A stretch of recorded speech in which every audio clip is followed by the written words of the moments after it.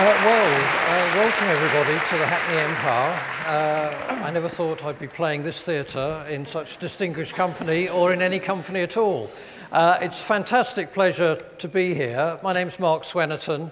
Uh, I've also had the pleasure of working on the projects designed by Neave Brown and his colleagues at Camden for, I've been working on that for nearly 10 years. And during that time, I feel I've learnt so much about housing. It's been a real education for me to have that very close relationship. So it's really fantastic for me now to see Neave having been awarded the RIBA Royal Gold Medal for Architecture, to be talking about his work, and particularly in company with three such distinguished architects, because we've got uh, in Peter Ahrends, Farshid Moussavi, and Stephen Bates, we've got an extraordinary assemblage of expertise in architecture and in housing extending back over the last 50 years or so. So it's great to have them, very welcome to all three, as respondents to uh, Neave's uh, comments. Uh, we've got a, uh, a, sort of series of little packages that we're going to do in, during the course of the evening. Um, first of all, Neave is going to uh, make some comments uh, without slides relating to the political situation that we find ourselves in today. And we're then going to follow that immediately by a little section with slides on some detail aspects of the design of Alexandra Road. After that, we will then go into a more freewheeling conversation, uh, bringing in our respondents, and then during that, we will have the loop tape running. And then to end with, Neave has uh, made a little presentation on his final project, the Medina at Eindhoven, which I think for many people is not sufficiently known. So I think without further ado, I will hand over to Neave and ask him to get us underway with his opening remarks. Thank you. The ado is now mine. Fortunately, I look at you all and I can't see you. and that would be quite terrifying. I gave a presentation not very long ago and in the context of doing that, I surprised people, I think, by giving forth a little bit about the current problem. And I have been asked by a surprising number of people more or less repeat it. So that's what I will begin with, and it has to do with the consequence of the fire. And the fact that there is an inquiry going on on the fire, and the inquiry is very important, and the man who's running the inquiry has said he's going to find everything and do everything, and that he'll pin down guilt if need be, and all of that. And that's where the concentration is. But in some curious way, the concentration should be on how we deal with the situation after the fire. Because there are multiple buildings throughout the country that are not only at risk in the way that that building was at risk, but others that are at risk in the sense of their social uh, ineptitude in dealing with the integration of a society and a culture. And I did remind people last time that we as a nation have had rules and regulations about the way we have dealt with housing ever since after the fire of London. And even before that, when we were making big squares and things with legal buildings and long and continuous buildings, we made buildings which made spaces, which made continuity, which made a place in the city, which made places for buildings within that context. So we have a long history of that. And then after that, we had the four classes of housing, which gave us housing from the, for the very rich down to the relatively low income, but high enough income to live in cities. And we have streets in London, around the corners of which you have first class, second class, third class housing, and in Dublin and other places you have that around the corner, and a four class housing. That housing continued until virtually the slum building in the Industrial Revolution. when we were building the most appalling building for both the residents that were there and for the new crowds that came in. And they dealt, dealt with that a bit with byelaw housing, which then came and intervened up to the second, for the First World War. And after the First World War, then they were going to do decent homes. And they invented decent homes, and they did the homes that were then built then from 1917 to 1920. And then 27, 24, they wanted to restrict the costs, and 27, they had to stop them because of the uh, economic crisis. And after all, when the, the, the Depression came along, that was stopped totally. And then after the Second World War, they had our then uh, homes program then, and that too was committed. Now, both, all these schemes had a major, major defect in them, insofar as they were financed for the building of the scheme, but there was no formed, formulated, strict pattern and commitment for the finance of the maintenance of the buildings. So those buildings, the money that was supposed to go to them went through local authorities, it was deflected into other things, and we have never maintained our buildings. After that, we then had uh, Homes for Today and Tomorrow, and the HCY1, and the whole business that went with that new kind of housing, which was an incredibly sound, good set of programs. But yet again, we gave no finance to the life of the building. The building started to deteriorate. Margaret Thatcher came in. There was a restriction on all money that went to councils.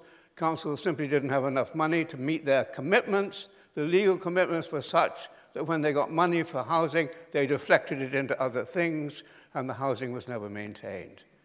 So, we have a problem. We have the problem of the housing that is built there, and we have the problem of how we actually then cope with our current situation. I made a suggestion, it's only a suggestion, but I'd like to make my point being that if my suggestion is inadequate, the grounds on which I am making those suggestions need to be recognized. The first thing that we need to do is to set up a program which gives us a new way of actually finding how we do housing.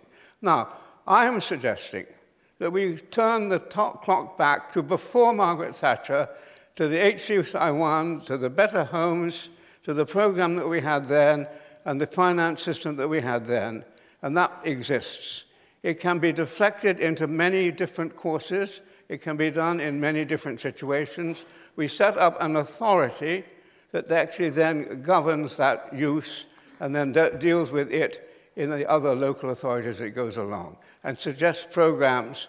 And also to do this, we need to set it up so it has the freedom to actually break certain kinds of rules that are necessary, density, car parking, access, staircases, density, all of those things need to be dealt with then flexibly by the new authority, and not all schemes need to conform to exactly the same standards. That is the basis of getting underway, it seems to me. And then uh, after that, we have another program. And the program that we must then set up is the one which looks after the building for the life of the building. Now, we have worked, I have worked abroad, we've worked in the Netherlands, we've done, we're familiar with things that happen in Germany, familiar with things that happen elsewhere.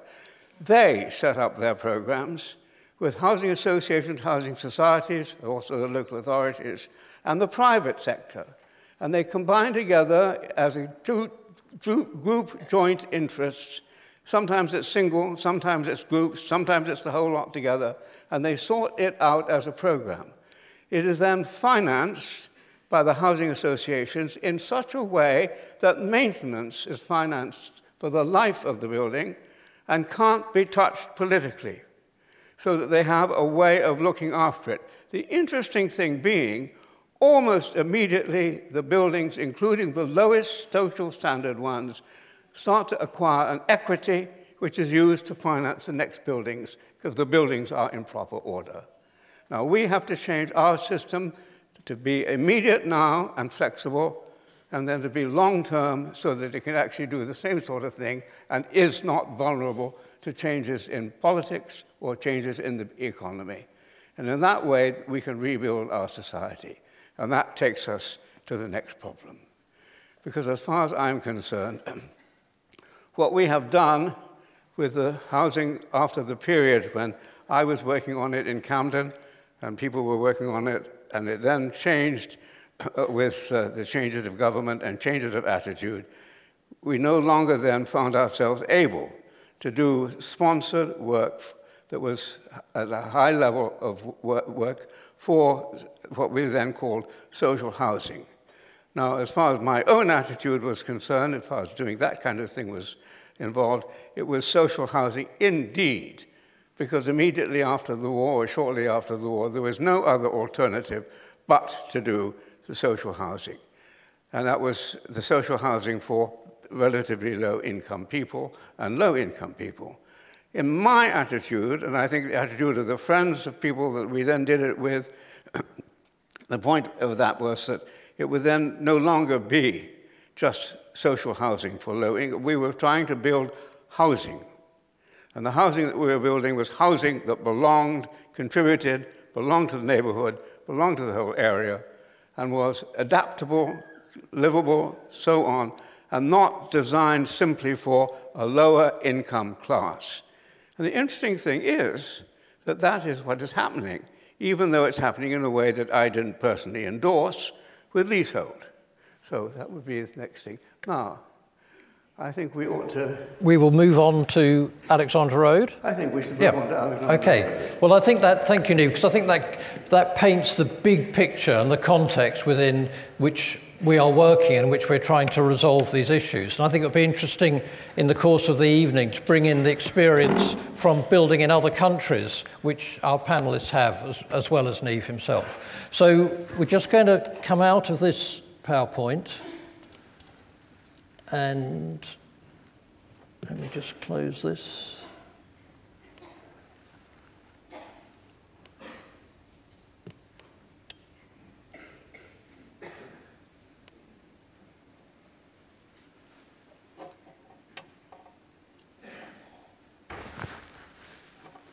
Okay, so Neave, that's. Thank you. Okay, there's your pointer. This is a little disconcerting for me to get underway with this kind of thing. I would add. Peter, do you want to? 1978. You, you can see them on here.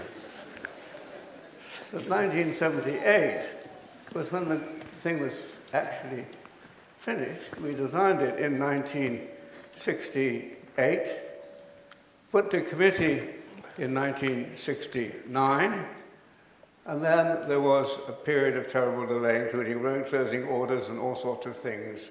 And finally, it wasn't done until 1978. But the thinking goes back to a previous, previous period than that. Next.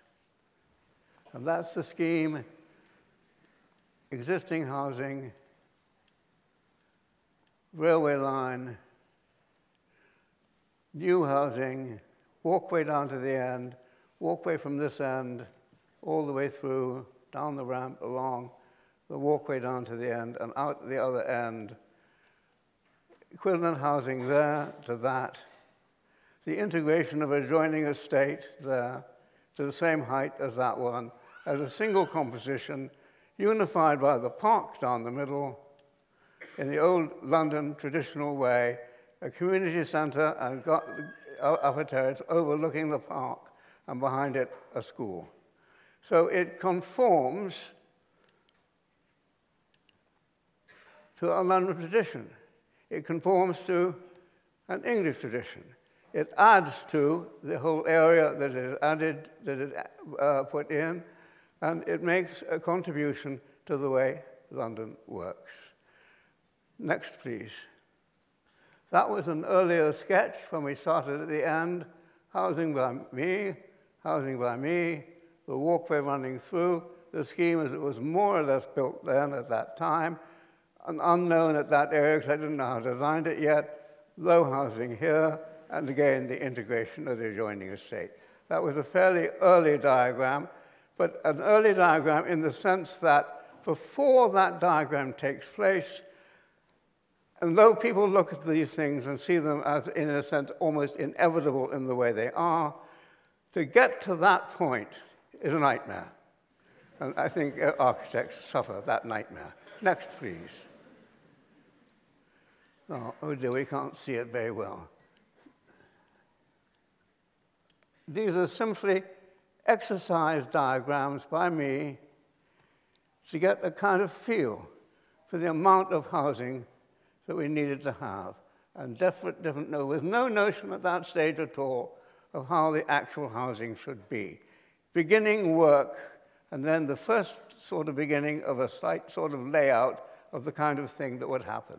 But even before we had the notion of the continuous walkway. Next. And then, long while after that, the notion of the continuous walkway, which ran all the way through.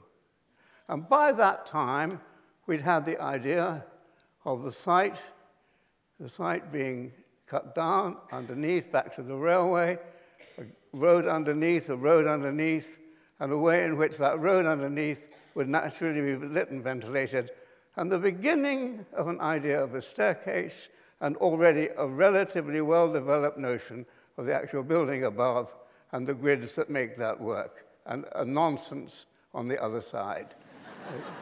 And again, the same thing here, and again, a nonsense on the other side, before one had got the idea of the continuous staircase. Now, that staircase is a little like a staircase I had for a scheme that I did quite a number of years earlier with a staircase going up the middle of the block to front doors. Now, that is a long way along the line of painful, awful work, getting up in the morning, going to bed late at night, not knowing what to do, and gradually ending up with the notion of the setback building and the double level of car parking underneath and the walkway down the middle. That's progress. Next. And that was the scheme finally at the end. The existing building integrated three stories of housing on garages with its walkway there, four stories, two flats there, the housing behind there, the road behind, the road underneath, the ventilated walkway, the park in the middle, the park going up there and bridging across that road because we had to have vehicle and, and uh, pedestrian segregation. That was the scheme. Next. And that's the scheme in more detail, and it shows the important aspect of the staircase, because we start the staircase at the walkway, and it ends up going up the building, past planting at that point, up the building, up the building, back up, back up, back up, gap with light down, and that staircase then it, it is uh, linked to every single front door of the building. And the same thing happens on the building opposite, and the garage is underneath. They've got naturally lit and ventilated, as you can see, like that. And this was a wide frontage, which gave me wide enough for two cars per dwelling, and the light underneath there, and a car per dwelling. And this scheme was a different grid. So we had the geometric problem of two buildings apparently in alignment with each other to a narrow frontage for a bedroom and a half, as it were, and a wide frontage for two double bedrooms, having to be reconciled with each other with dimensions which are difficult to work. Next. And so we ended up with the main building like this. Now, what I want to talk about for a moment, just for the fun of it, I think many of you know the building, is when we've arrived at this situation, roughly, as you see in the sections, we've gone through a nightmare of assessment, creative, complex, joining up thinking to produce something which is, as it were, a walkway, a staircase, a walkway above, and housing in between. And yet, that, that looks in a sense obvious, is the product the end, like a destination of a series of conceptual thoughts. And I want to talk about that a little bit in detail. And that's I, when I'm going to stop. To begin with, we start the first flight of stairs at the walkway. And somebody walking along there can look at the planting there and can look down at the garage if they ever feel like it. And then the staircase ducks back into the building and that you don't invade the property that is next door. The staircase then rises up, up, up, up, and comes out at the top when you can see it. In order that it integrates then with the separation of the dwellings in between, which are these walls, we have those walls there. It changes at that point, and we have a coffer then, which gives identity to each of those terraces. And the same thing down here at the bottom. And then at the very bottom, you can't see it here, I'm afraid. Uh, the, and I, am afraid you, well, you can't see it there. The entry for the lower dwelling has a cover over it and planting above it, so that the whole thing is, as, as it were, solidly integrated. And you then get the curious thing going of the dwellings, each dwelling a, a, a, height and a half here, a dwelling there with its terrace and its planting bay, giving a pattern up the building that the main intervals horizontally are not the dwelling floor, but the dwelling planting bay. And set back from that is the edge of the dwelling itself and the terrace, and the idea that that is a flat thing and has the slab underneath it. And this, virtually by choice, has a double drip which runs along the edge of it in order that there is an interval there that takes then the glass. And that thing is repeated at that point underneath this one, and repeated at that point underneath that one, and at the top it disappears, and you get the parapet. Now, that ends with a parapet here looking down at the garage underneath. You start up the staircase, and the staircase itself, in terms of expression, is recessed. So the main interval is the staircase, a bump, a bump for the staircase, and we have the problem of the staircase landings. And for a long while, I had a staircase landing which had a concrete edge all the way across. It then had quite a heavy one. And then I suddenly decided no, the great thing is the progress of the gap and the interval that is given by that major architectural element up to the parapet at the top. And therefore, we made a very light balustrade on an edge. Now, we have a double edge here, which is vertical, edge, vertical. For the bottom of the staircase, we had a small vertical and then a sloping one back. And the same thing for the next one down, a sloping one back. So that this interval is different from that one and less major than that one, giving a full emphasis on the major divisions. Those major divisions then get run all the way down the building at every two dwelling intervals. And that means that the scale of the building is, is as it were, a double scale because the major element are the staircases. And that is the, were, the, the, the hierarchy, which takes time and time and time. And these recesses that you can see on this diagram here, also, each of those has an interval like that, and setting back from it, and you can't see them here, a recess. And that is the actual recess which is made by the pour of concrete that needs to be done so that you get an accumulated event. Now, it's interesting because the reinforcing, of course, for a wall like that has to do with it being continuous. However, the contractor can only pour it in stages so that you have intervals. And I'm sorry, I had hoped that the intervals could show more clearly. What? Go on, let's go on to the next one. Uh, can we go back if we want to? if I want to go back. What? No, no, no, go on. I'm just, yes, yes. Because we have an interval here, an interval there, cut, cutting back, so that that is like that, that is like that, another one here down and up. And worried about the ability to pour this concrete in that kind of way, we actually poured trial walls to make sure that we could get the good edge and get the division. So that though it is concrete and continuous, the pile-up of concrete elements that make the building are, as it were, like a series of architectural elements loaded on top of each other to describe both sides of the interval, the major side of the staircase and the, in a sense, the lesser side, with, it, with its intervals of the horizontals which divide the dwellings. And you get this major interval, this major series up to the top there, and then finally the parapet running along the top. Now, I could whitter on longer about that. Here you see again the recess of that one, the minor staircase.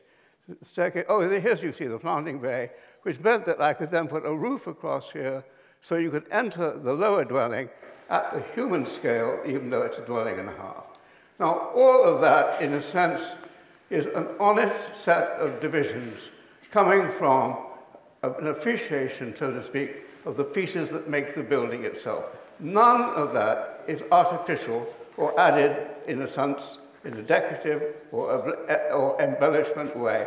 It all comes out of an interpretation of the reality of the building. That's the staircase up. Next. And that's the walkway at the top. And it was kind of a problem to me how that wall then went up to the very top here at the very top, and then how we made a wall here. And to begin with, I had to simply straight up and down, and then I decided, no, because of this, because of those, this needed to have a lower wall than that one, and the balustrades in order that it would be appropriate to the scale of the walkway. And that walkway is then continuous all the way down to the end, where the is going down. So the linkage between that and this walkway is total. The point being now, we have the 15, you know, it's more, more than 15 feet interval for the dwellings below, and the problem of the fact that the dwellings here were wider than the ones above. However, the ones below could be the same me measure as the reduced because of the staircases in front. So we have these elements here that are immediately opposite to ones which are the same size, and only at the top do you get the wider, like a cornice running above the whole building. Now these are architectural issues which trouble the architect and are very difficult to sort out, and uh, Peter Ahrends will know that kind of thing. We all go through that, and it can be a nightmare of going to bed unhappy and getting up again. The point I'm trying to make is that when you have finished and you've got it right, it looks absolutely right to people, and nobody notices or identifies that set of detail at all, simply because the thing has become normal. And in a way, it's sort of a, a, bit, of, a bit of a loss. Next. you get the walkway then coming down to the end.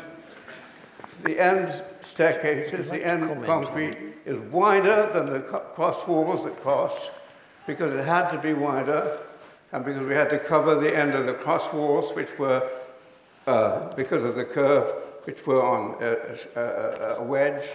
We needed to cover that to make the windows the same we got these very fat walls which gave the proper scale for the repeat elements, big walls, with then the coffers not on the other side for the, for the, only, uh, the only door, reducing therefore the quantity of concrete. And then we have the problem of the top, coming through. And that top element is not the same as the elements below it. And I had a hard time then I suddenly decided, no, I will extend it. So it sticks out like that over these, and therefore describes in a way the priority nature of that upper walkway, with then this, as I say, floating like a cornice above it. And then the, the concrete lines going back, again, like elements at the top. Next. And then behind. There you get the staircase sticking out. These are the elements that make it. The staircase, the thing at the back becomes another element, that becomes an element. And I had a nightmare solving this. And I remember talking to uh, um, Gordon Benson, and he said, he reminded me that these elements belong to that heavier part of the building. So what, why did I need to take them higher? So then we invented the double window, which ran all the way along, and this floating like a cornice above, and the site profiling at that point. So that unifies there. This, this, and I always think of this as looking like the, almost like the back of an armchair. that the building actually sits into, and then the railway line.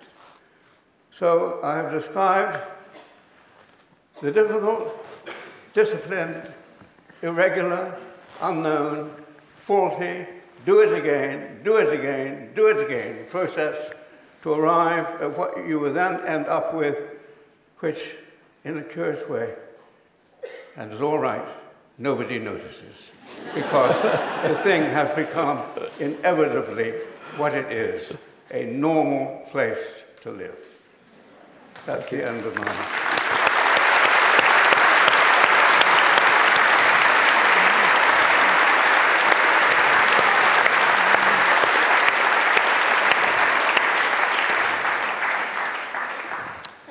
Neave, thank you. That was it's just marvellous to hear. Marvellous to hear you talk about the design of Alexandra Road in that absolutely detailed, uh, rigorous way, how each element uh, affects the next one, how it all has to cohere. And as you say, in the end, it coheres to such an extent that nobody realizes all the, all the work, all the tricks that you've had to do to to pull that off. But Farshid, I know that you, you visited Alexandra Road with your students from Harvard just recently. I wonder the things that Neave was talking about there, were they picking up on these or were they, were, for them, was it all the big, the big moves, the street, the urban level? Uh, yeah, I, I, mean, I think that this aspect of, um, of um, you know, Alexandra Road and, and talking to, to Neave, I mean, he, he's constantly focusing on talking about each single element in a way as an instrument of the architect. And that really, really hit them because from afar, you know, Alexandra Road is, is, um, is kind of quite an iconic project now uh, for architects and it has, of course, a very strong social agenda.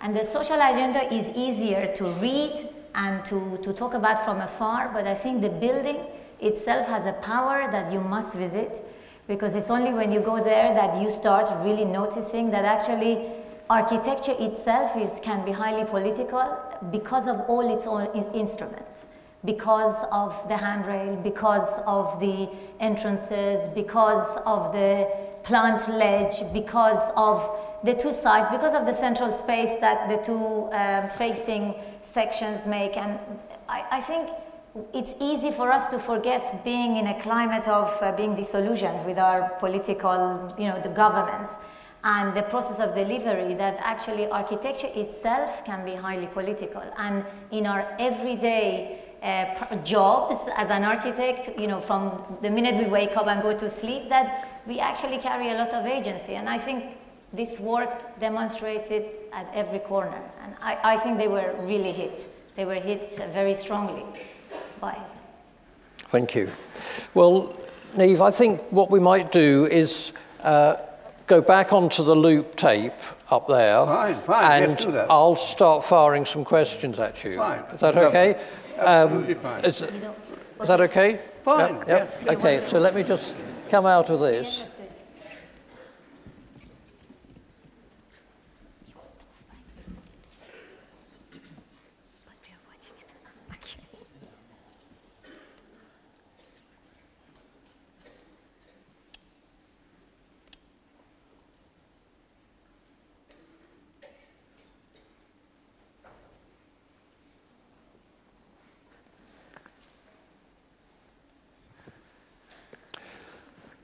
So I think, Neave, to step back from the detail of the composition of Alexandra Road, just to kind of step back and think about the context of, of this work. In your, your, in Alexandra Road and in your previous project for Camden at Fleet Road, um, you were making a proposition about the kind of housing that we should have in cities. Uh, and you were saying we don't need to build high rise, we should look at continuity and a connection between what we're building and the existing city. And I think it would be interesting for an audience today, 50 years on, to hear a bit about your about the, about the ideas that had, had led you to take up that position. I wondered if you'd like to well, I mean, elaborate on that a bit. It was a long progress. and to begin with, one was a student. Bear in mind that we were students at the time, shortly after the war, before there was almost no rebuilding.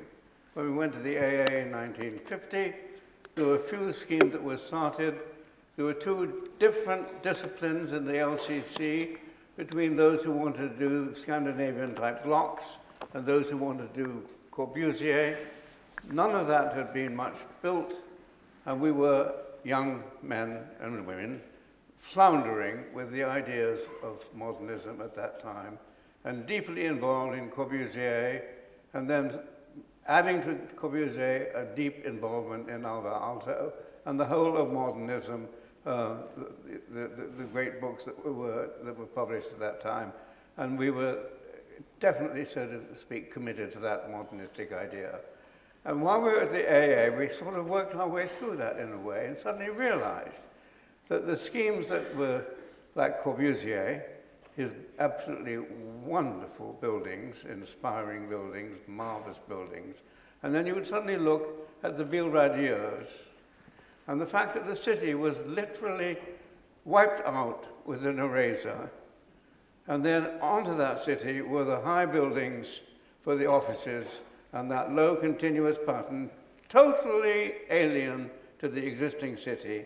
And the existing city was reduced in that sense to a landscape. And that landscape itself was not even divided or subdivided.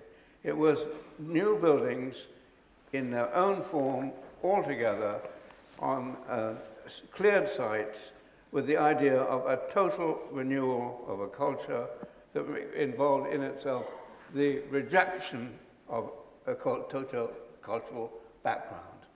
And we became, in a curious way, unhappy with that while we were students. And I can remember in the end, in our fourth year doing a housing scheme, which was Corbusian slabs. And I did that, and so did almost everybody at that stage. But by that time, we were already getting uncomfortable about it all and realizing that this, in some way, did not fit what we thought England ought to be with rebuilding after the war. And in the context of the long set of programs that England had had since the 17th century. And we had an idea that this modernism, with the buildings that we loved, should be reinterpreted into being an integral addition to an existing city, as it were, step by step, with no total overall proposition. And that was indeed a new kind of thinking. And I think that when we, my, my group, several of us, after all, Jim Stirling, James Gowan, Alan Colquhoun, John Miller, David Gray, me, later Richard MacCormac, and others all worked for Lyons Israel and Ellis. And their buildings are insufficiently known now. But the thing that was wonderful for us as the young people there, drawing at the drawing board every goddamn day, up and down and up and down, doing these endless drawings, you put them off.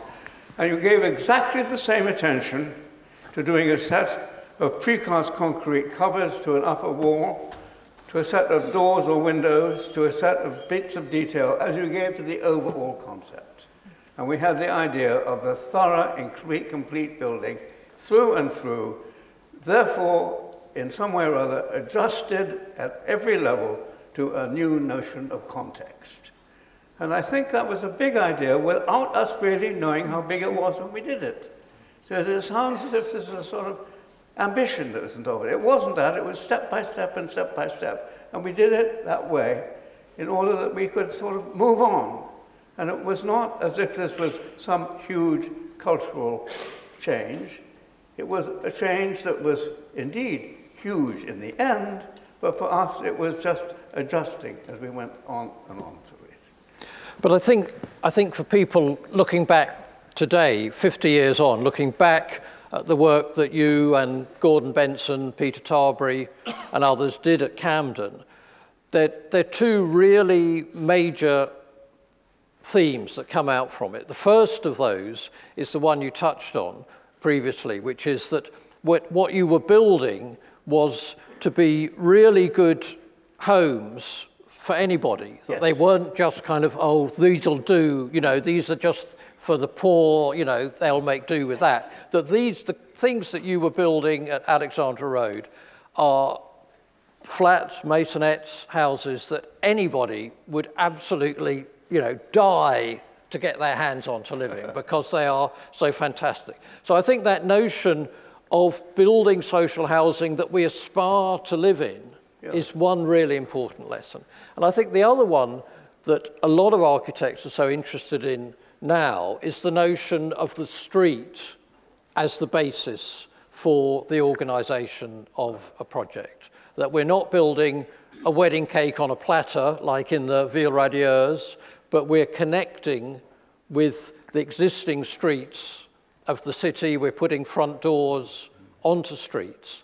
And talking earlier to Stephen, I think you had a, had a, um, a kind of take on our take on street-based housing, which I think might be interesting yeah. to, to bring in. Yeah, I mean, the street Can you is... project? Speak up, please. Yes. Can, can oh. we project so that Neave can hear? The, the street is back in fashion, you know, in this country, in terms of uh, architects and regeneration teams and local authorities working in housing. But I find it really important to recognize what I see as a bit of a difference with the notion of, uh, of street in the late 70s that you could maybe see in Alexandra Road and, and other projects, where um, there is an idea of continuity. It's an urban idea of connecting, which we all recognize. But there's also what comes with a street is a sense of proximity and I would say, in the best cases, density. And what I find radical in Alexandra Road, placed here this evening, is that it proposes a, a more intimate urban life, you know, a, an idea of intimacy that we would recognize in the European city. And I don't think that is an aspect that is being addressed in a positive way in the work that is generally being explored in this country right now under the umbrella of we're celebrating the street. So we have streets with cars and things that we recognize. But what we see in Alexandra Road is, is intimacy and proximity and the idea that a single system building, you know, a conglomerate building, can be greater than the separate parts, that you can be part of a bigger whole. And I think this inevitably links to social politics, the social change, that the obsession with the, the obsession with the individual or the growth of individualism means that I look at this and I think uh, I can't imagine it being ever accepted now for reasons of the fact that it's, I'm part of a much bigger system. You know, and I think that has changed. So to me, that it's connected with an understanding of what street means. Know, recently, we've been involved in a project in, in Harrow where we took the planning department to narrow streets and spaces to explain their qualities, to il illustrate their qualities, in order to uh, show precedent for a project that we were working on with two other architects to promote intimate street, an intimate street scene again, you know, a sense of density, a sense of urban life where you see your neighbour, you know, your, your shoulder, you're rubbing shoulders. And I, I find that a big loss. And I think in the, in the late 70s, when you think of other projects like Odham's Walk, amongst others, there is a, a, a celebration of togetherness and the idea of a community that is that has to be there. You know, that you have to know your neighbour. You know, when you look at Odham's Walk, there's a lot of diagonal views into things, which would be unacceptable now. And I think that's a shame. What I, because I just finished, say that what I found wonderful, Neave, in your introduction was the declaration that projects should not all meet the same code, that they can be specific and special. Because this is a special project. You know, there shouldn't be too many special no. of the same special project. And I, that, again, I'm afraid, I think is somewhat missing at the moment. I was lucky, unbelievably lucky, because I began with five houses as a housing scheme at the end of a street that had to adjust to the scale of the street and a garden beyond that was communal. So we had the public space in front, semi-public at the very interval, front doors, the private scheme, the private terrace, and then the semi-private garden, unique and contained and safe for the children. And I did that house. That was a housing scheme. Then, luckily, lucky for me, Camden was set up, Sydney came, they needed people. They saw my scheme at Winscombe Street. I met them and I got a job. So that was an incredible piece of luck. We then did Fleet Road, which was not like a group of houses, but was a housing scheme. It has the same windows, balustrades, details, ideas of staircase. It is, in a sense, a bigger elaboration to a housing scheme of the ideas generated at Winscombe Street. And then finally at Alexandra Road, where we get 520 dwellings, a school, a community centre, a public park, the integration of adjoining estate, a youth club, a building department, uh, department and other extra parking other things as well, as one great big complex. It too has the same windows, the same balustrades, the same details, the same attitude towards staircases. So they become a thesis, mm. in a way, at a small scale, at a middle scale, at a, the bigger public scale. And there are aspects of the bigger public scale that are alien to the small scale. There are aspects of them all that don't fit with each other, but the language fits all the way through, which happened to be my unbelievable good luck to be able to do that. The interesting thing being, if I may enlarge on that, we did the scheme, we designed it, we had a change in council, we actually had a Tory council in Camden for the acceptance of the scheme. We then had, the, and they endorsed it and loved it and applauded it. And we then had the changes that were going on in England at the time, we had the change of the director of housing from Rowley to, what was the name of the man? I can't remember, Max. I mean, it doesn't, doesn't. I'll get back to you on that. And they, he employed a whole lot of new young people.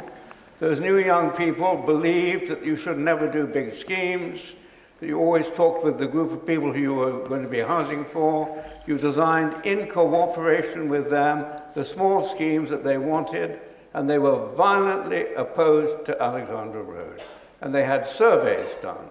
Now, I remember a, a group of their surveyors coming to see me saying, we have done surveys of the opinions of people, and they want the kitchens by the front door, and they want the kitchens with a linkage through at that level, and they don't want upper kitchens at the back of the house. So please change the scheme.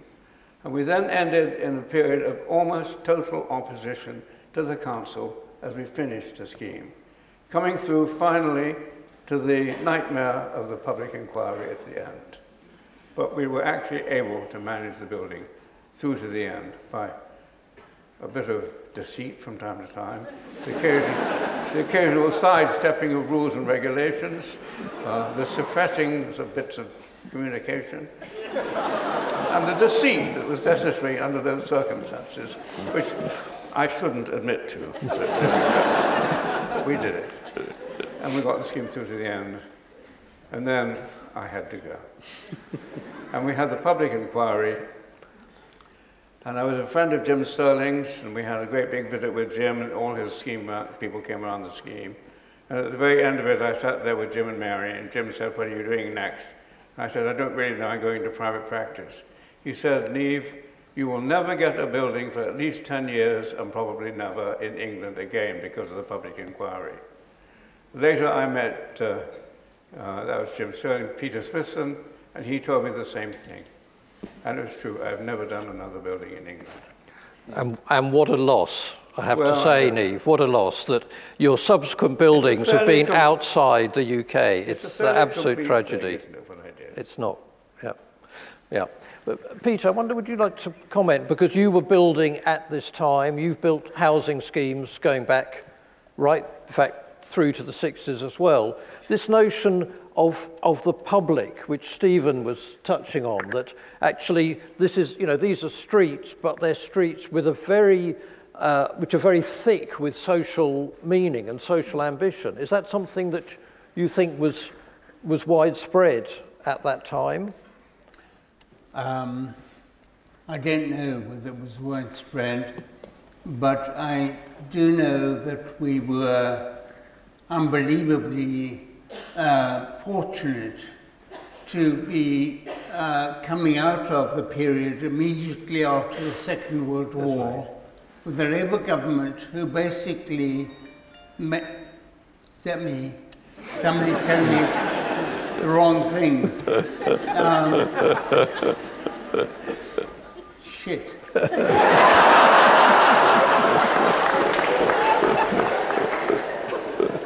Sorry about that. We can cut that out, I think. Turn it upside down. Um,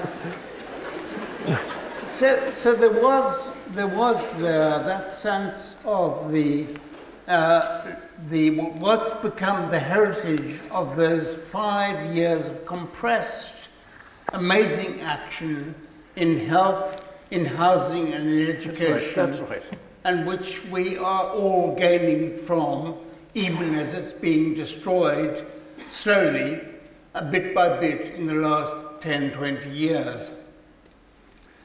Now, have I, do I have a view on the housing thing in relation to the public? One of the things that we became quite in interested in was the notion with large projects, how would you actually get to know how the people that will inhabit the building will feel about what you're trying to do. So with both in housing at Chalvedon where we built for 5,000 people, having planned for 20,000. Later, in relation to the post office headquarters, uh, which never got built because the Labour Party had to save money. Uh, and then third, at Cummins Engines, a large, massive uh, diesel production plant where, just to give an idea, we were actually intent with the client on finding out, I was determined to find out, because there was a workforce there already on the site. We were intent on finding out the, the attitudes of the workforce to their place of work. Could we find ways of having conversations with these people for whom we were building? They weren't the client, but they were the occupants, they were the workers. And it was with them, uh, through the client, that we set up meetings with the day staff, the night staff, the, the blue collar worker, the white collar worker, and drew from all that a sense of what their values were in relation to the building, in relation to their working output, and we could actually take that with the client and begin to actually ad adapt the brief to have a dimension that hadn't previously been there. That's, that's a kind of, that's one position in relation to the, the social dimension. I agreed with you, Mark, that I wouldn't, I wouldn't uh, get into areas where I would be entering into a political territory. But it's not, it's not uh, I think it's a wonderful conjunction, a fortunate moment for Neave to be sitting here with his work in social housing.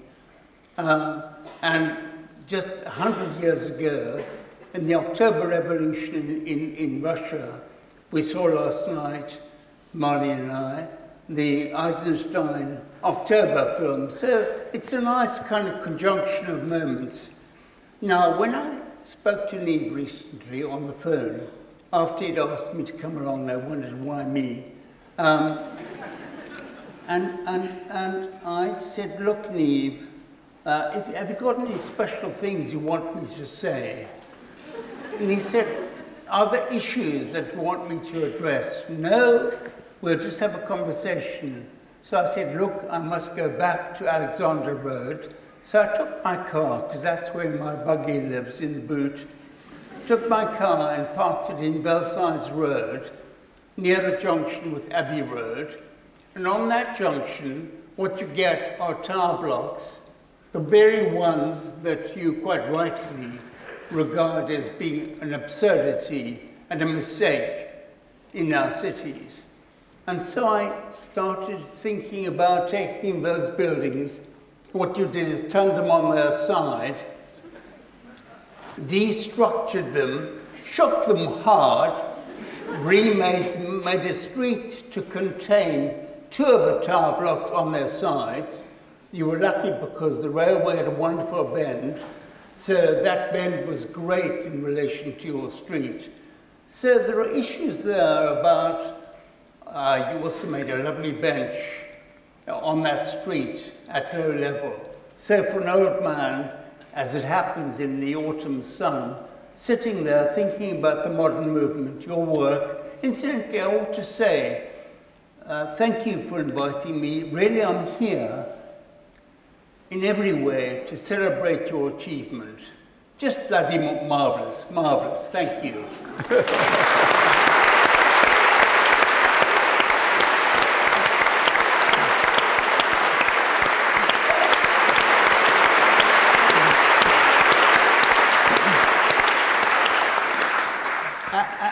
when I got out of my car in Belsize, stop me if I'm going on too long, but as I got out, got out of the car in Belsize Road, I looked, knowing where Neave's scheme uh, and Camden's scheme at Alexandra Road was, I walked along and looked between the late Victorian semi-D houses, and there's a gap there of about, let's say, two and a half meters. So you can see through into the north side, the side where the structure does that, and holds the building as it, as it pulls backwards for the street.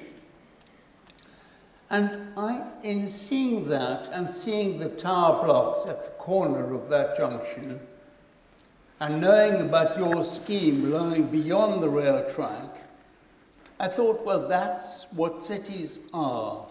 They are all sorts of things together we somehow have to find a way of moving forward now, back, both forward and back to the values that made the social housing possible. Not affordable housing, social housing. Right. And, you know, affordable housing is not really affordable for many people. I went on and sat on your, one of your benches on that, on that street the sun was shining, it was warm, and I thought about the modern movement. I thought about the constructivists. I thought about Braque and Picasso and the language that they had in that conversation between them over a period of, what, five years or so? I thought about the homogeneity of your materials the whole way through the building except for the paving, which is red brick. But everything else is concrete and some 50 mil diameter uh, handrails. That's about it. Glass and, and glass frame and, and timber and uh, metal frames. So, you know, there was a language there which was a language of a material which you can make anything of, almost anything out of that material. And you did so, and you made staircases that rose up from the street so that you actually got a sense of movement from the big street, from the pavement of the street, and moved up on the outside of the building, moving up into the places that you were going to inhabit, and making smaller chunks of concrete that size, which become balustrades for the, for the stairs. So there's a whole language I remembered in relation to that homogeneity of material once many years ago when I was in with, with my partners to be traveling towards Iran to look at some buildings there. And we were in mid-Turkey, uh, in the Anatolian plain. Arrived at a village, wanted to stretch our legs. I moved, started moving through the village, which was about two stories high, two or three stories high. Found myself walking slightly upwards and suddenly realized in all these mud buildings that I was actually on somebody's roof. And the whole thing about the notion of making a place out of one material, mud, which you can move over, or concrete in your case, was just amazing, amazing. And I thought back, therefore, to the beginnings of the modern movement and the meaning of concrete in relation to the making of new ideas, ideas that where you could make things really strong, columns, beams, walls, roofs, or you could make things relatively smaller for balustrades and the like. I think I will stop that point because but, you know there's, there's more to be said, but not now. Well, I think it's a very important point, Peter, that you've raised about the material choice at Alexandra Road, as we're talking, as we're looking at that at the moment, because one of the things that uh, is really appealing to a young generation today is the concrete. You know, there's this huge enthusiasm for concrete as a material, and so there's all the stuff that you're well aware of, Neave, all the brutalist revival, people talking about the buildings of this period as brutalism. And I think it would be interesting to hear your comments, firstly on the, the material, the concrete. Were there other materials that you might have used? Were you happy with it being homogeneous in the way that Peter says? And secondly, about this brutalism label, which is being now so widely applied to your work and other people's work. Well, to deal with brutalism to begin with, I've been talking, I did talk a little bit about detail on Alexandra Road as refined. Some things that were brought down very small. Some things that had double edges, which didn't need to have them. Some things which had layers on them that were part of the architectural language, but not anything to do with what you, you would generally call brutalism. And brutalism was attached to a period of work. And as far as I'm concerned, uh, I don't feel I'm a brutalist architect. I'm a different kind of architect from that. That's one thing. What was the other point? Well, about the concrete, the use of the well, homogeneous the material. I mean, it had to be concrete. There was no question it could be something else. It could have been something on the inside and then something else on the outside. It was logical to me to make it concrete all the way through and to make it, as it were, a total concrete building. I should say that at that period in time, the director of housing, a man called Rowley, was incredibly cooperative. He didn't understand at the beginning. We talked and talked and talked and talked, and he understood the scheme, and he got more and more involved in it. And all this time we we're talking about the passageways and the walkways uh, and the alleys that made up uh, the way uh, Fleet Road uh, worked. And before we went into the committee with, uh, for me to describe the scheme, I remember he put his hand on my shoulder and he said, Neave, whatever you do, don't to this committee refer to alleys, because the committee will consider them to be working class and they'll turn the scheme down. So I call them passages instead. that, that, no, I mean, I don't like terms like brutalism. I don't like generalizations. I'm trying to say that in any case, we have a program, or we had a program that was a program of what we were given, and we adapted the program to the circumstance. And all the things I'm saying now about the way we then re-adapt a new set of programs should be then adaptable within the programs themselves to the circumstance. And the fact that we have absolutely generalized, strict rules about all sorts of things seems to me to be negative in the sense of responding to housing situations. Now, the first thing we need to do when we do housing is in effect, uh, is in effect to assess the scale and activity and its involvement in its bit. I have been lucky to go from five houses to 520. Mm. If you, whatever you do, wherever you do it, you make an assessment of its qualities and the neighborhood qualities, and you move on with that. Some of that may be in opposition to another scheme down the road, and we ought, I think, to adjust and uh, uh, adapt a system that can do that. And I dislike hard and fast sets of rules because they set up standards that we can't justify. Hmm. Right. May, may I just yep. uh, add to that? I mean, from the point of view of architects working now, maybe most of the audience here, we can appreciate the sort of heroism in projects from the late 70s, which I can think of a few examples that have been deeply inspirational. They are full of experimentation, and they were able to be so. And I'm really interested. Well, what I was going to say was, like, our challenge is what we do. How do we become experimental? Because it seems very difficult to find space in publicly paid housing to be experimental.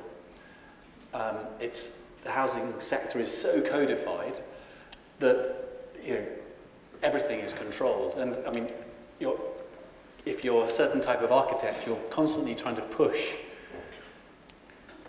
uh, push out of that constraint. And I am really interested to know, and maybe others are too, to understand at that time in the late 70s or the early 70s when when you were designing Alexandra Road.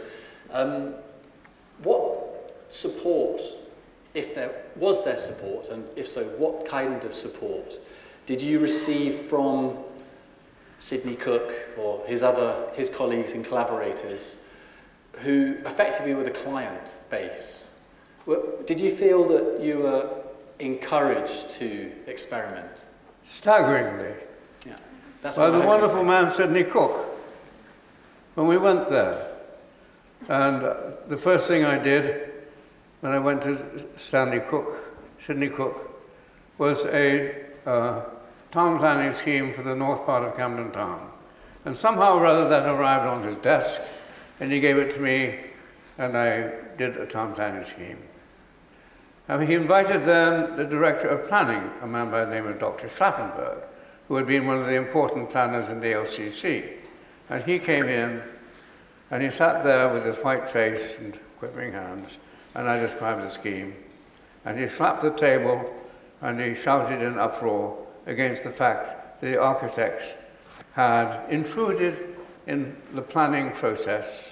And he said this and he said that thing and he shouted a bit and he got up and he walked out. And Sydney Cook sat there, moved, of course, but unhurried. And he said, well, that was that. We have to, we have to live with that. Now, the point being that then when I had designed Alexandra Road and got it through to the right point, the planners hated it and said they would turn it down. And that was Schlaffenberg and Sydney Cook. Now, always, councils went to committee joining up the planners and the architects. And Sydney Cook insisted that we would go alone. And that was his response to the planner walking out on us in the planning scheme. So that was the first thing. We then went with him to do then uh, um, Fleet Road and then Alexandra Road. But Alexandra Road was done and designed while he was still there. And he was wonderfully supportive.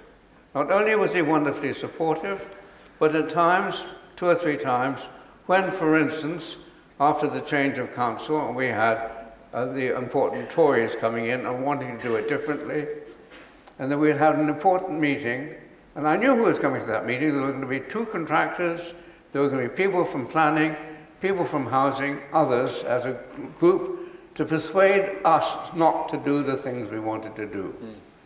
And I thought, well, I will be quiet, and Sydney Cook will come in. And he put me, stood me up before we went in and said, you're doing the meeting. And I went in to this meeting, and we had these people there, and I had to somehow or other get through the meeting. I got through the meeting because we'd already had consent enough to say that we couldn't go back on it. But from that moment onwards, we were in total opposition to planning and to also the people in housing. We had to survive and get through that. We did. But you had enough support from the well, council, but not just Sydney Cook, but from the councillors. Oh, because in the end, the councillors, yes, not in the latter stage, but, but, when, when you were getting Fleet Road through and Alexandra Road through, they were utterly, approving utterly it, weren't they? Both the Labour ones to begin with, and then at the very end, we went to committee with Tories almost within the first week of the new Tory group. They were supportive, they applauded, they gave me support to begin with. And it was only when the Director of Housing changed and they brought in the new people. And then at the end, of course, um, what's the name of the councillor? Yes, what? the councillor. What? The councillor. Yeah. Ken Livingstone. What? Ken Livingstone. Ken Livingstone, who came in at the very end in total opposition to the scheme. And we had some terrible meetings and he met the council, the people. They thought the scheme would be, he was advised by housing, they thought the scheme would be unlivable. They walked around it before it was completed. They decided they need to protect themselves, and they committed themselves to the public inquiry, which you probably know about. The public inquiry exonerated the architects, blamed the council. The council got the public inquiry, closed it up, put it on the shelf, and never published it. It's a, How it ruined yeah, me, so to speak, in England. It's a ter- it is a terrible story, and it's really the point at which councillors and architects who had collaborated to deliver the welfare state, there was this terrible separation, and Alexandra Road became the kind of symbol of that, and Neave was the, was the victim the of that whole that process. Stage, were publishing material accusing the architects of long-term incompetence and lack of control and lack of money control throughout the scheme. And it wasn't until the inquiry vindicated us and blamed the council. Yeah. But on this, this point about experiment and innovation, I wonder, Farshid, if you'd like to comment on this in relation to your experience in France, where is, am I wrong? Is there, is there an interest in, in experimentation, in innovation? Did you find support from your clients on the, the two projects that you've completed?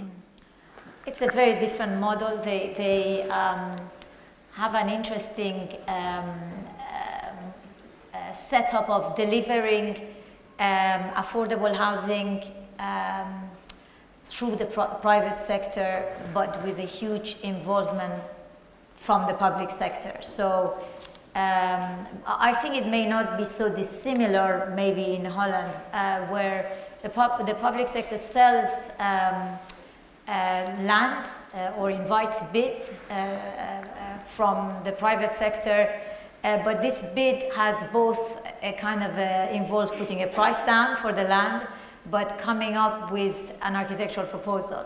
So uh, the decision for the plot has architecture as one of the equations, uh, which, and, and because it goes through a competition and because on the panel of the, of, of, of the judging panel, there is a master planner who is normally an architect or an urban designer, as well as uh, often the mayor him or herself, and uh, the, the planners, uh, actually this, this, the, the, the project is um, selected from a very broad range of um, uh, you know, concerns. So we don't have quite the same uh, situation as, as, um, as Alexandra Road, where it is really the, you know, the public sector delivering it, uh, and, and, therefore the scales of them are not um, anywhere, anywhere and, and, therefore the impact they can have is, is nowhere quite the same. But I think it's quite interesting that when, when the individual private projects, private developments are, are, are delivered, they are also fitting within a larger, indirectly, uh, they are also implementing a larger vision for the city. So the building is, housing is also making the city. And I think that that, on that front, it, it, it is through a very different route. I think they managed to, to, to deliver some of what I think Neave has always, uh, you know, looked at housing, for, that housing is the city. Uh, and that it's not just about, you know, fitting in accommodation, yeah. exactly.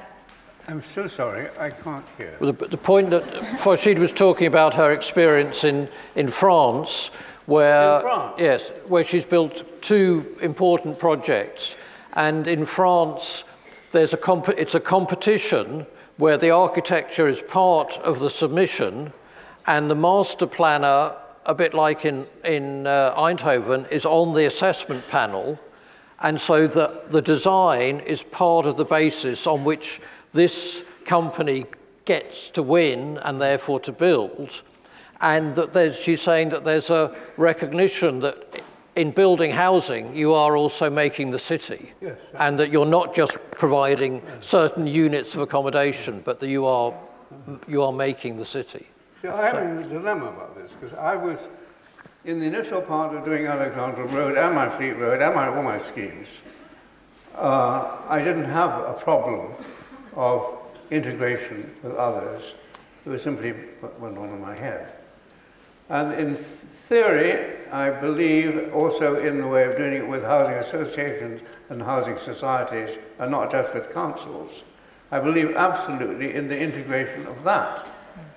What I found personally difficult is modification of what you think the right values are as you go along, because you have a set of opinions. Now, that's simply not my experience. My experience has been fortunate for me insofar as I've been able to do a proposition and, despite opposition, carry it through. The idea of the integration, which I do believe in, in theory, is not an experience I've had in fact. Uh, because sometimes the values, when you put together a proposition, are values very difficult to be understood by people who live, as it were, in normal kind of life and not maybe in that proposition. So how do you get the right impact for the creative idea that you are doing and not have to reduce it because of the, their opinion? Now, that's not the dilemma I have had to suffer. But, I mean, perhaps this is a point at which we might move on to the Eindhoven project, because surely for Eindhoven, you, had, you were invited to do it by Jo Coenen, but you had to get buy-in from the, from the town, from the, what's it called, the, the Beauty Committee? The Beauty Committee. Will you tell us about the Beauty Committee? The Beauty Committee. The Beauty Committee was surprisingly undogmatic and, and, and, and not very.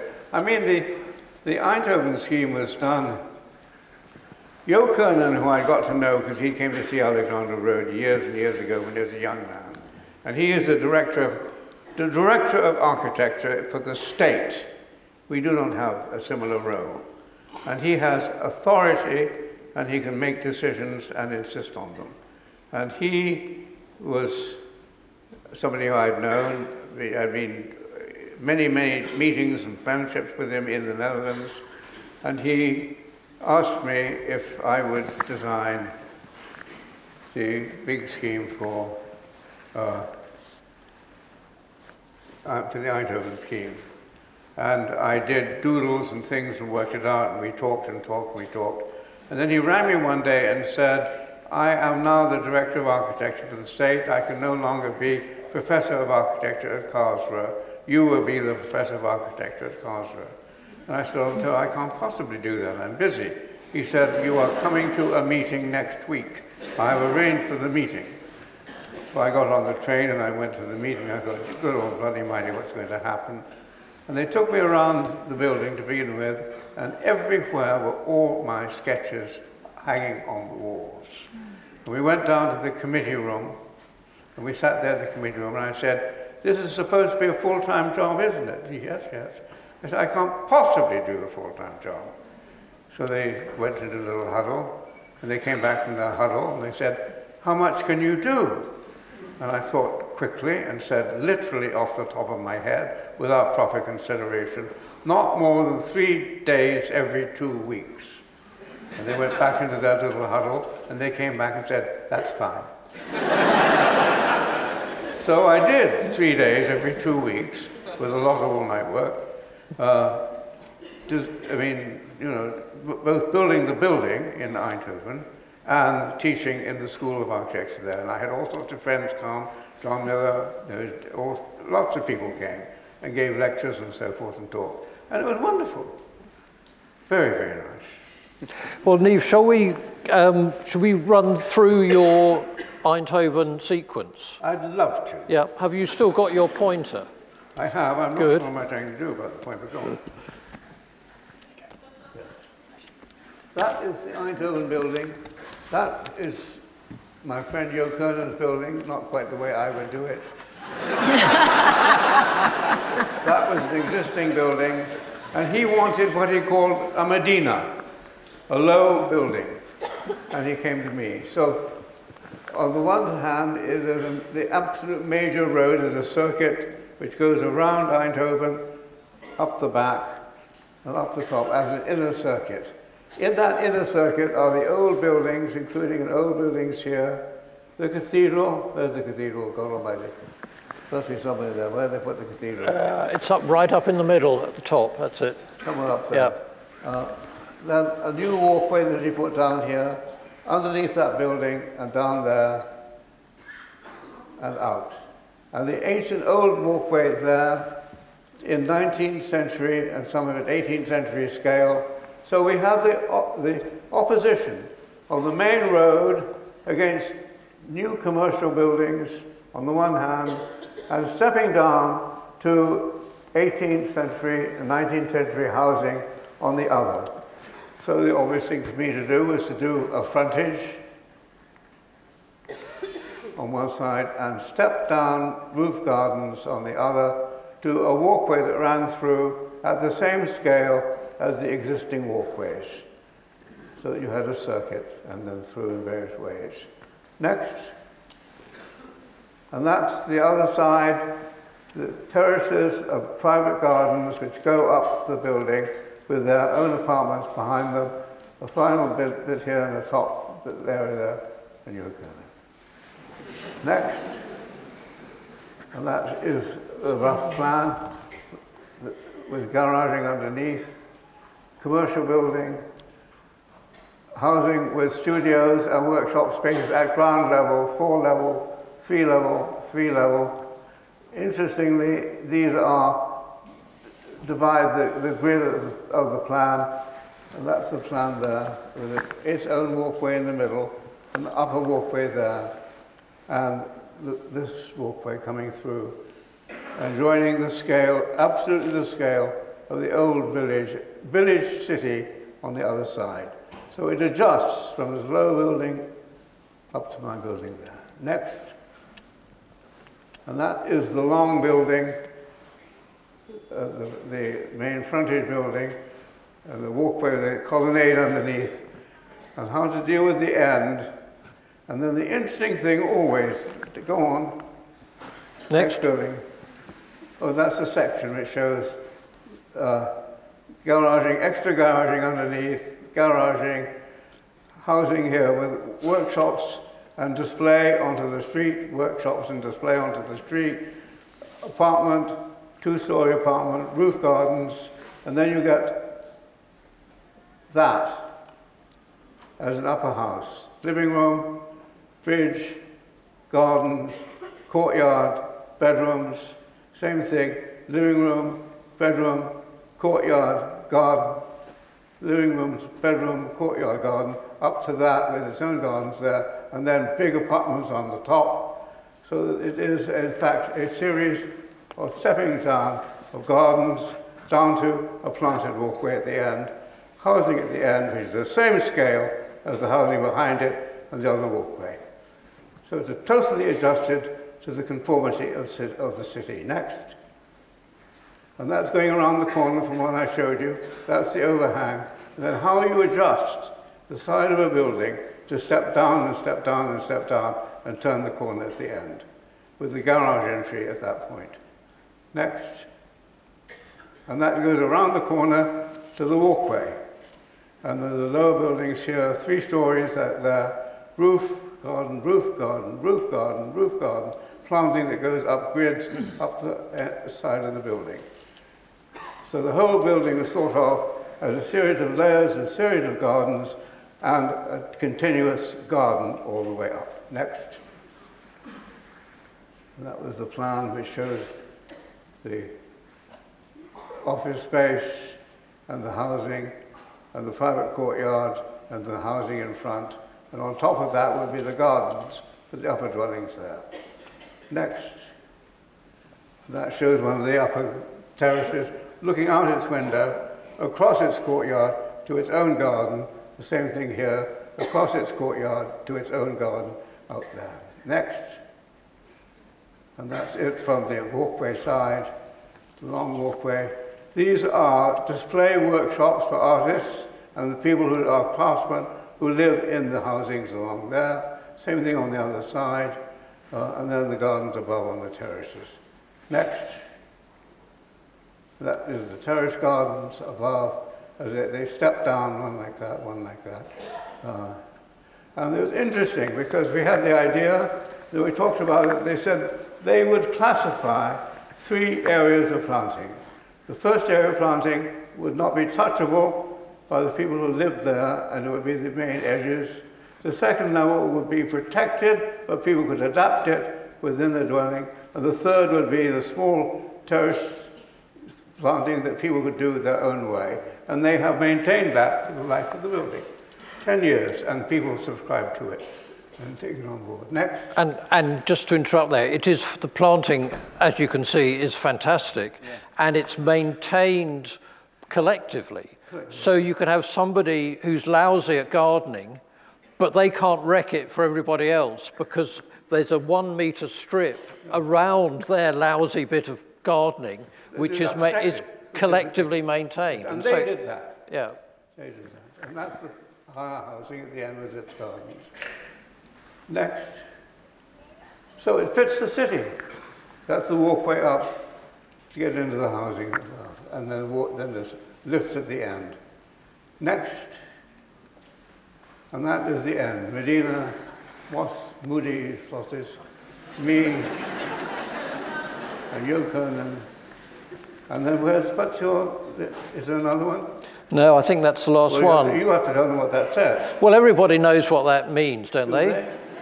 Who knows what that means? Surely. I don't know what that means. What does that mean? There's somebody here who knows what it means. Medina was more slotster. well, is that. I think you're still talking Dutch. So tell what it means. I think what you're trying to say. All right. I finished the building. I closed my practice complete. I didn't have many people then. Went to art school and gave up thinking much about architecture altogether, not because I wanted to give it up, but because I was involved in what I was doing next. And what I was happening astonished me. Because I thought the buildings that I had done after Margaret Thatcher were simply those pieces of the past, you know, that are kind of relegated and looked at with a degree of curiosity. And I had no idea that they were still being looked at not only as bits of the past, but something which might be relevant to the present and the future. And so I was dumbfounded by the fact that all of this has happened to me, in a sense, at the end of my life.